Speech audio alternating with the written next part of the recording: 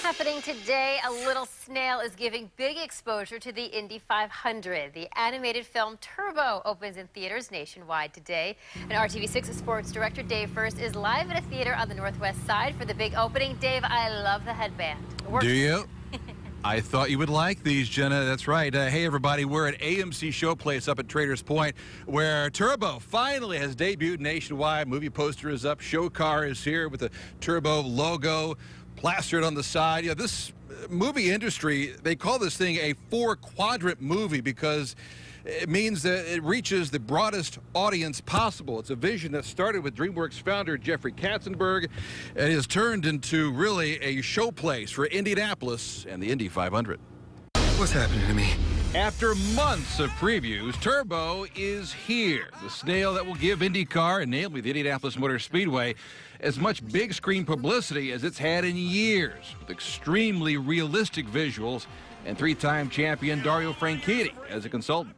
My name is Turbo. The lead is played by Ryan Reynolds, who's happy to carry Turbo's torch. I remember when I was pitched the film, Jeffrey Katzenberg came to me and he said, You know, I have this story about a guy who has an impossible dream.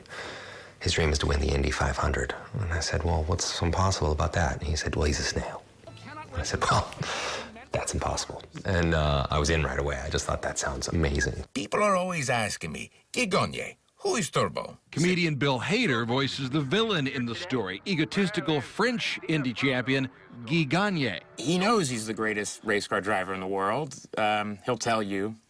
Uh, and, uh, you know, people love him and he relishes in it. And um, he's got a bit of an ego. The name, Smooth Move. If I set the tone around here, you dig? Let's And it's a cast that reaches all demographics. Snoop Dogg voices Turbo's friend Smooth Move. to take them to the Indy 500. You know, he's a fan, he's a friend, and he's also inspired by Turbo. And Snoop contributes a song to the movie as well. You see him gaining position, but first he won't be last. It's had premieres from Barcelona to New York, and now it's available nationwide. A snail at the Speedway. Catch it if you can. one thing doesn't go with the other, but then all of a sudden you look on screen, you see Indy cars go, and then you see a snail going right with them. It's kind of like, oh, okay. But everybody likes an underdog. Uh, and, you know, a snail in the Indy 500 is an awesome underdog story.